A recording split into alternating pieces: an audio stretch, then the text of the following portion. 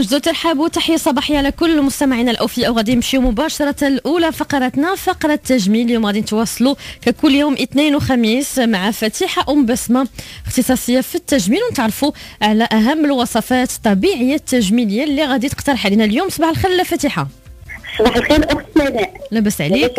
الحمد لله بارك الله فيك. بارك الله فيك. صباح مبروك آه، أختي عليك وعلى الطاقم. علينا وعليك. والمستمعات والمستمعات آه، لاله مولاتي. شكرا. واحد التحيه للام أيه. ديالي آه، الحاجة نورا والشفاء العاجل للاخ ديالي عبد الرحيم و- و- وكنتمنى لهم التوفيق. يا ربي آمين. نتمنوا الشفاء لجميع المرضى. إن شاء الله اليوم غادي نقدم لكم بعض الوصفات لازاله الكلف والنمش من الوجه اييه واخا. وهاد الوصفات اللي ناجحه 100% و- و- وعطات يعني يعني مجربة. مهم. مجربة. قبل ما نبدأ في اداره الوصفات إلا سمحتي الاخت سناء عندي واحد جوج ملاحظات. اييه ان من بعد من بعد ما كملت الوصفة ديالي اتصلوا بيا بزاف تاع تاع النساء الوصفات ديال الوزن اتصلوا بيا النساء اييه سولوني على بزاف الحوايج اللي يشكوا فيهم. لأن بعد من بعد التدخل تاع شوية شوية خليني قالت لهم آه، تستاشوا مع الطبيب. آه، منها الوصفة تاع الخميرة اللي بزاف الناس آه، قال- قالوا أنها صعيبة واش فيها شي فوائد آه، جانبية يعني شي حاجة اللي كضر بالصحة. ياك؟ أنا كنقول لهم لا فقط الخميرة هي كتحتوي غير على فطريات وبكتيريا نافعه كتعتبر من اغنى المصادر الحديد ومن المعادن ونادرة والاحماض الضروريه فهمتي؟ هي كتخفف من ألم التهاب الأعصاب وكذلك ألم الضغط كتنشط الدوره الدموية اي فعلا غير هو آه، يعني كل واحد على حسب المناعة ديالو كذلك يعني ماشي كل شيء غتوافقوا.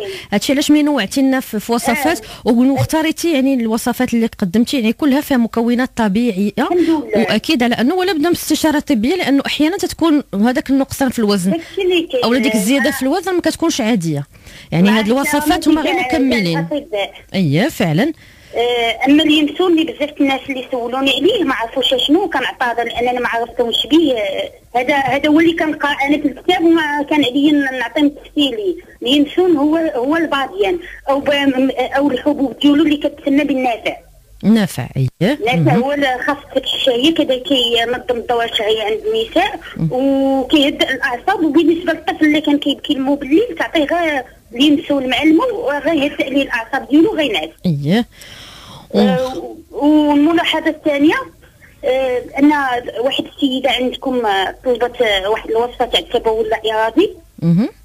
وطلبت منها شوية باش تشوف الطبيب. مم. وأنا كنظن هذا المشكل أن أن كاينة الوصفة ديالو بلا ما تحتاج للطبيب لا إلا سمحتي فتيحه إلا سمحتي ما يمكنناش نخدموا بهذه الطريقة لأنه راه الطبيب عنده التخصص ديالو وهاد الوصفات هما عندهم الأهمية ديالهم يعني ما يمكنناش. آه لأنه أحيانا تيكون مثلا هاد الوصفة غادي نديروها مرة ولا جوج ولا ثلاثة تقدر تلقى النتيجة لأنه كيكون مشكل عادي ولكن ملي تيكون مشكل عضوي في يعني في, في الجهاز يعني يعني ال- التنفس ولا كيكون مشكل مثلا نفسي راه كتلقى صعوبة يعني ما يمكنش هاد الوصفة أو لا وصفة أخرى أنه تعالج. يعني غير باش غير باش ما يكونش واحد واحد اللوس بالنسبة للناس اللي كيسمعونا واللي يعني حنا يعني فاتحين هاد البرامج يعني ك يعني باش نزيدوا من درجة الوعي ديالهم ماشي باش نلغيو الأطباء. فواخا إلا لا، سمحتي كما قلت مع احترامات الأطباء تاعما كيفيدونا.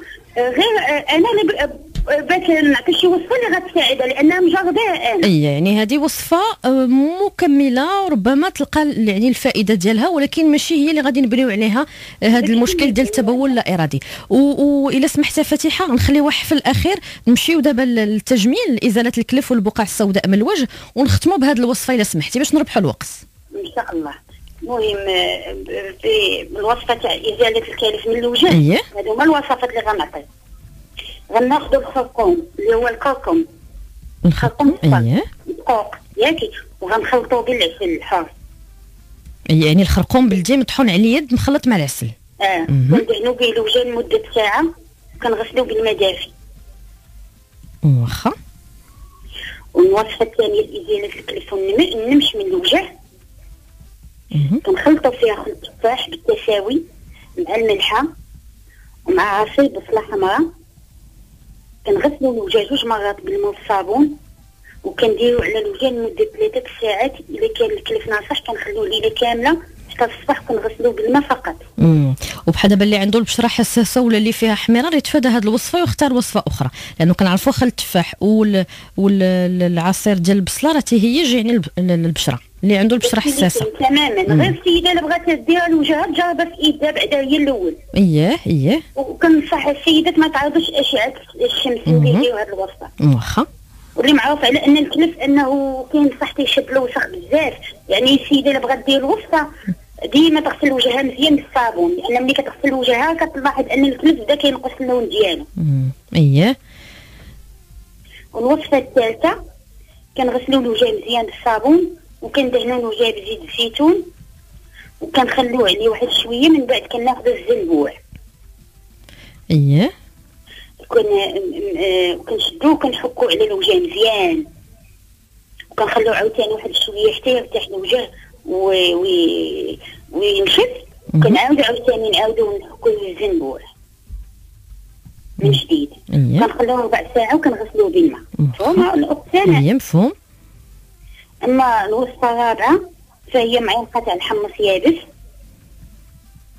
مع معلقه تاع الفول يا- مطحون مع معلقه تاع رز مطحون مع صفار بيضه بلديه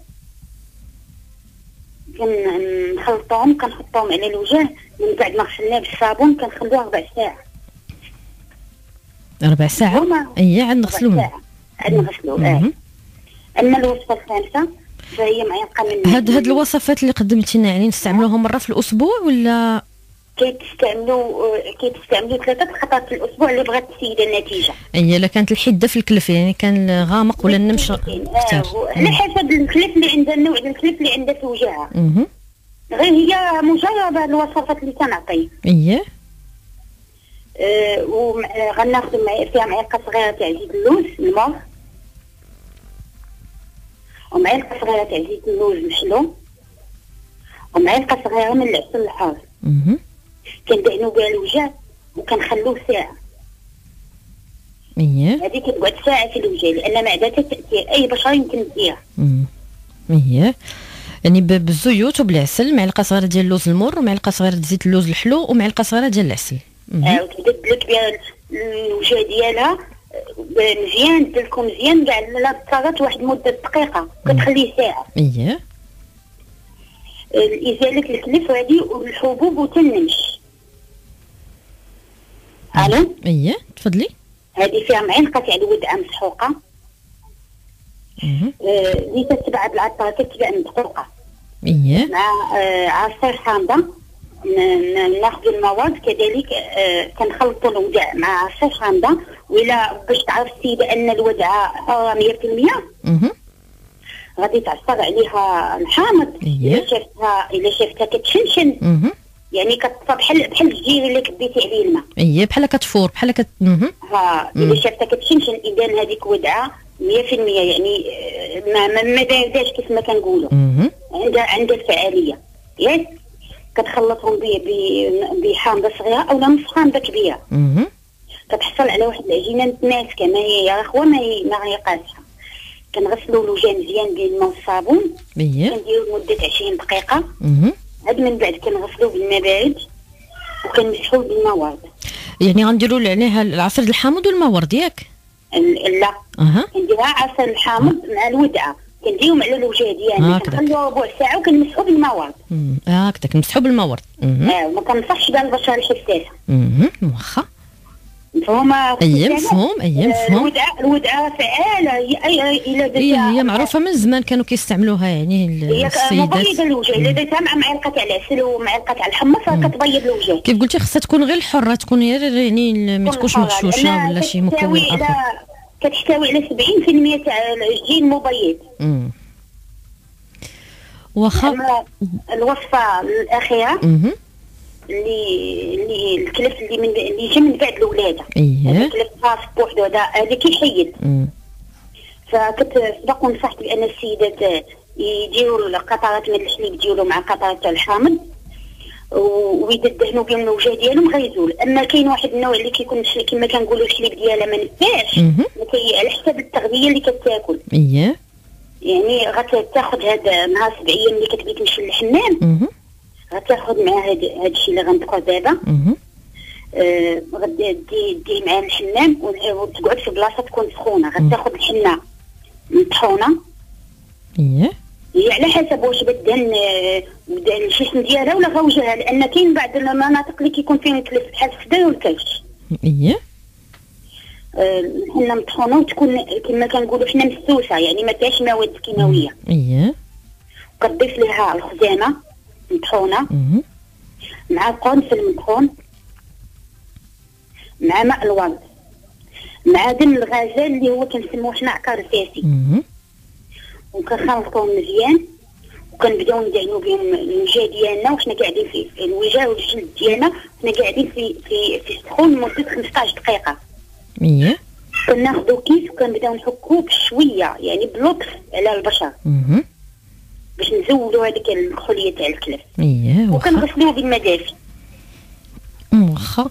آه هو بالنسبة لهذا المكون ديال القرنفل نحاولوا ما نكثروش منه لأنه حتى هو من بين المكونات اللي كتهيج البشره مقارنة مع المكونات الأخرين. ولكنها فعاله إيه. الشيء اللي عطيت أنا الأخت سناء كله مجرب. هي فعلا هو ماشي آه، كيف قلتي راه فعلا مجربين ولكن راه كل واحد يعني يكون عارف البشرة ديالو واش حساسة واش عادية باش يقدر أنه يختار هاد الوصفات اللي غادي تناسبه واحدة من هاد الوصفات اللي غتناسبه آه لاحظت الأخت سناء إيه أن معظم الوصفات ديالي كندخل فيهم آه، كندخل فيهم العسل الحر. وكندخل فيهم والزيوت. الزبدية. إيه واخا هادو معظم الوصفات وبعض النساء قالوا لك ما كتصدقش من الوصفة علاش لأن كيكون العسل الحر يا إما ما حورش 100% يا إما الزيت البلدية ما حورش 100% إيه خصنا نختاروا حتى الجودة ديال هاد المكونات تكون حرة وتكون طبيعية. كيفاش عرفهم واش حارين ولا لا. اييه غادي يكون أحسن نعرفوا كيفاش نعرفوا مثلا العسل واش حر ولا لا وبزاف المكونات نعرفوا شنو الجودة ديالها ولا لا. آه إلا سمحتي لأنه مابقاشنا الوقت فاتحة نختموا بالوصفة ديال الحد من التبول اللا ارادي واخا بالنسبة للتبول اللاإرادي غتاخذ السيده آه، آه، سكينجبير اييه غتشدو غديرو في المقلة وغتخليه يتحمر مع التقليب. يعني سكينجبير مطحون. سكينجبير مطحون آه، بودره اييه غتبقى تقلب فيه سيولي عامل اللون ديالو بحال لون القهوة. أها يعني بحال نقولوا غيتحاد اييه آه، تيولي اللون ديالو حمار بحال لون القهوة. وغادي تاخذ تاخذ العسل الحر اللي هو كما قلت لك إلا كان حر غادي يصدق في أها غتخلط العسل وغتولي تعطي للطفل ديالها أو لا الشخص اللي عنده التبول أها أما الحرقه بوحدها هذيك خاصه اختصاصيين هذيك الأطباء كنصح بها الأطباء ماشي إيه. آه، أنا غير التبول بالنسبة للأطفال اللي كي حاشاكم كيبولوا في. الفصل لأن. أنا عندي اربعه الوليدات وكامل هاد الوصفات السيمانه حيجي لي البول. اييه الحمد لله ملي كيكون ما كاينش مشكل عضوي ولا مشكل نفسي كيسهل أنه هذه الوصفة يعني صافي آه، تكون الفعالية ديالها. واخا. وأنا وأنا كيف ما لاحظت أن حتى الأطباء اللي اللي كتصطادهم تما كيعطوني شو- شي حوايج اللي هما طبيعيين هادشي باش عجبني البرنامج فعلا اييه فعلا. حاجة كتكمل حاجة. أها داكشي اللي كاين. غتاخذ من بعد ما ما حمرتو غتضيف عليه العسل وغتولي دير شي غتولي. تعطيه. معلقه صغيرة ما تفوتهاش ليه قبل ما ينعس وتبعد عليه السوائل. آه. يعني قبل ما ينعس تقريبا بشي ساعة ولا ساعتين تعطيه هذه الوصفة. معلقة صغيرة من هذا المكون بعد نهائيا المشروبات في الليل. واغلب الأطفال اللي تيقولوا هما اللي كتزاد النسبة ديالهم هما اللي كيدخلوا المدرسة يعني السبب الرئيسي هو الخوف. اييه اييه تيكون تيكون خوف تيكون مشاكل أخرين اييه وكذلك المشاكل بين المرأة والراجل قدام الطفل ويتفادى الافلام اللي كتكون فيها رعب اييه فعلا. حتى هادو من الحويجات اللي كيأثروا. تبارك الله عليك لاله فاتحة. أم بسمة مشكوره على هذه الوصفات الطبيعية التجميلية اللي اقترحتي علينا.